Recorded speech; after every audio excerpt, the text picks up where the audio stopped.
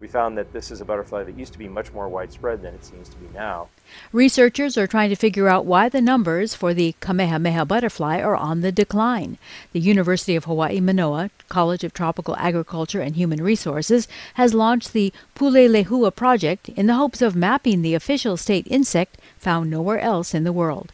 Funding for the project is being provided by the Hawaii Department of Land and Natural Resources, Division of Forestry and Wildlife. Rather than wait until it's almost gone or, or in fact gone, we wanted to address this issue head on and try and figure out what the status of the butterfly is while we can still find it in some places. In this video news release, the university asked the public for their help. There are just a few of us uh, who are, are trying to cover the entire state, and that's impossible. So we really need the public to get an accurate assessment of the Kamehameha butterfly. We're basically asking the public to go out there and if they do see either caterpillars or eggs or butterflies, um, just snap a picture with your smartphone. So just snap a shot and we'll tell you what you found.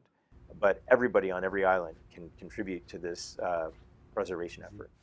Anyone who sees a Kamehameha butterfly, caterpillar, egg, or chrysalis is asked to submit their photos and observations to the Pulelehua Project website, kamehamehabutterfly.com. The data will be used to map the current distribution of the Kamehameha butterfly, which will help determine exactly what's happening to this species and why, and will help develop a strategy to preserve and possibly grow the population.